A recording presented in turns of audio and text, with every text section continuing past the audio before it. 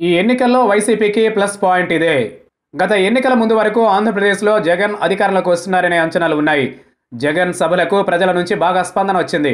సమాఖ్యాంధ్ర కోసం చివరి వరకు పోరాటం చేయడం తండ్రి వైఎస్ మృతితో సానుభూతి ఉండడం వంటి అనేక కారణాల వల్ల జగన్ పట్ల రెండు వేల పద్నాలుగు ఎన్నికల్లో ప్రజల్లో సానుకూలత వ్యక్తమైంది.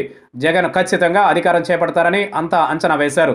అయితే చివరకు అధికారానికి సమీపానికి వచ్చి జగన్ ఆగిపోయారు. చంద్రబాబు తన అనుభవం రాజకీయ చిత్రతతో చివరి నిమిషంలో పుంజుకుని అధికారాన్ని చేపట్టారు.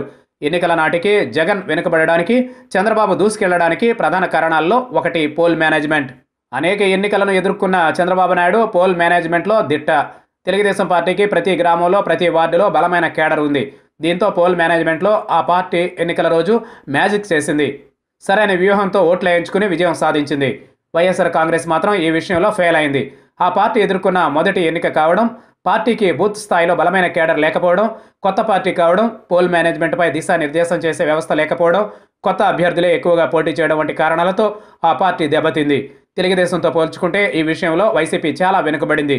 దీంతో అధినేత జగన్కు ఇమేజ్ ఉన్న పార్టీ ఓడిపోయింది. చాలా నియోజకవర్గాల్లో ఆ పార్టీ స్వల్ప ఓట్ల తేడాతో ఓడిపోయింది.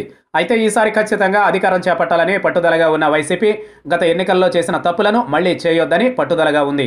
పోల్ మేనేజ్మెంట్లో విఫలమైనట్లు గత ఎన్నికల ఫలితాల తర్వాత గుర్తించిన ఆ పార్టీ ఈ విషయంపై అప్పటి నుంచే దృష్టి పెట్టింది. అన్ని నియోజకవర్గాల్లో బూత్ లెవెల్ కమిటీలు వేసుకుంది.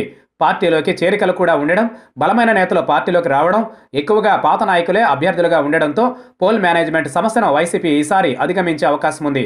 జగన్ సైతం ఎన్నికల నోటిఫికేషన్కు ముందు బూత్ లెవెల్ కమిటీలతో సమావేశమయ్యారు. గత ఎన్నికల్లో చాలా చోట్ల బూత్ల వారీగా పార్టీకి బాధ్యతలు స్వీకరించే కేడర్ లేదు. ఈసారి మాత్రం ప్రతి బూత్కు కేడర్ తయారైంది. దీంతో పోల్ మేనేజ్మెంట్లో వైసీపీ గతం కంటే బాగా పుంజుకున్నట్లు కనిపిస్తోంది. కేవలం పార్టీకి అధినేత జగన్కు ప్రజల్లో సానుకూలత ఉంటే సరిపోదు.